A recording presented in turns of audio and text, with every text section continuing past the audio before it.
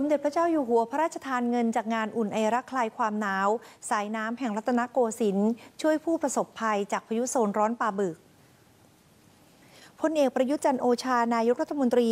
กล่าวระหว่างพบปะให้กำลังใจผู้ประสบภัย เจ้าหน้าที่ที่เกี่ยวข้อง และตรวจสอบความเสียหายจากพายุโซนร้อนป่าบึก ในจังหวัดนครศรีธรรมราชว่า ได้นำพระมหากรุณาธิคุณ จากสมเด็จพระเจ้าอยู่หัว และพระบรมวงศานุวงศ์ทุกพระองค์ มามอบให้กับผู้ประสบภัยและเจ้าหน้าที่ทุกคน โดยสมเด็จพระเจ้าอยู่หัวทรงมีรับสั่งให้ทุกหน่วยงานทำงานแบบบูรณาการทุกภาคส่วน และทรงรับสั่งให้นำเงินที่ได้จากการจัดงานอุ่นไอรักคลายความหนาว สายน้ำแห่งรัตนโกสินทร์ไปช่วยบรรเทาความเดือดร้อนของประชาชนด้วย ทั้งนี้รัฐบาลจะนำปัญหาความเดือดร้อนและข้อสั่งการเพิ่มเติม ในการช่วยเหลือประชาชนในพื้นที่ หารือในการประชุมคณะรัฐมนตรีวันพรุ่งนี้ หลังจากที่ผ่านมาการเตรียมการรับมือของทุกภาคส่วนทำได้ดี ช่วยลดความสูญเสียได้มาก จึงเตรียมเร่งดำเนินมาตรการเยียวยา และฟื้นฟูโดยเร็ว และในค่ำวันนี้นายกรัฐมนตรีได้ร่วมกิจกรรมรับบริจาคเงิน เพื่อช่วยเหลือผู้ประสบภัยภาคใต้จากพายุปะบึก ภายใต้ชื่อ รวมน้ำใจไทยช่วยวาตภัยใต้ โดยสามารถบริจาคได้ตั้งแต่บัดนี้เป็นต้นไป ทางนี้ช่อง 7 HD ได้ร่วมมอบเงินจำนวน 1 ล้านบาท เพื่อร่วมฟื้นฟูชีวิตของผู้ประสบภัยภาคใต้ ให้เข้าสู่ภาวะปกติโดยเร็ว ทางด้านกระทรวงสาธารณสุข ได้ส่งทีมแพทย์ลงพื้นที่ภัยพิบัติ เพื่อดูแลสุขภาพประชาชน โดยเฉพาะครอบครัวผู้เสียชีวิต 4 คน และกลุ่มผู้สูญเสียบ้านและทรัพย์สิน ในการเยียวยาสภาพจิตใจ และดูแลผู้ป่วยติดเตียง ผู้สูงอายุอย่างใกล้ชิด พร้อมยืนยันสถานพยาบาลทุกแห่ง จะเปิดให้บริการตามปกติด้วย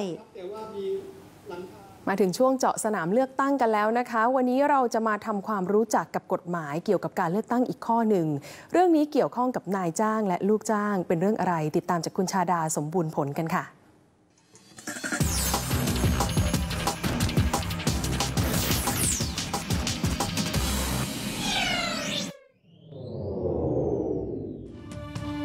สวัสดีค่ะเจาะสนามเลือกตั้งวันนี้พาคุณผู้ชมไปทำความเข้าใจกันเกี่ยวกับเรื่องของการออกไปใช้สิทธิเลือกตั้งกันค่ะ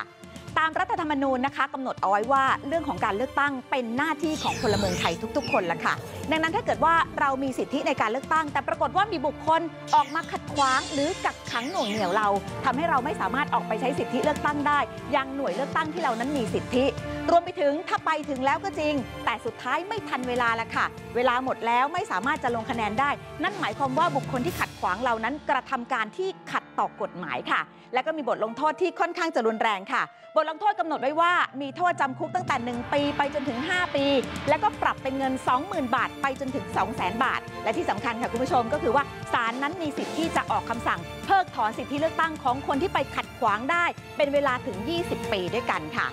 ส่วนนายจ้างหรือว่าผู้บังคับบัญชาเองต้องฟังทางนี้เลยค่ะ คุณมีหน้าที่ในการอำนวยความสะดวกให้กับลูกจ้าง หรือว่าผู้ใต้บังคับบัญชาไปลงคะแนนเสียงในครั้งนี้ ถ้าเกิดว่านายจ้างเองขัดขวางกัก ขังหน่วงเหนียวลูกจ้างทำให้ลูกจ้างไม่สามารถไปใช้สิทธิในการลงคะแนนได้นายจ้างก็มีโทษด้วยเช่นกันค่ะ ซึ่งโทษก็หนักเช่นเดียวกัน นั่นก็คือ สั่งจำคุกนายจ้างเป็นเวลาไม่เกิน 2 ปีด้วยกันค่ะ รวมไปถึงจะมีการปรับด้วยเป็นเงินไม่เกิน 40,000 บาท หรืออาจจะทั้งจำทั้งปรับเลยล่ะค่ะ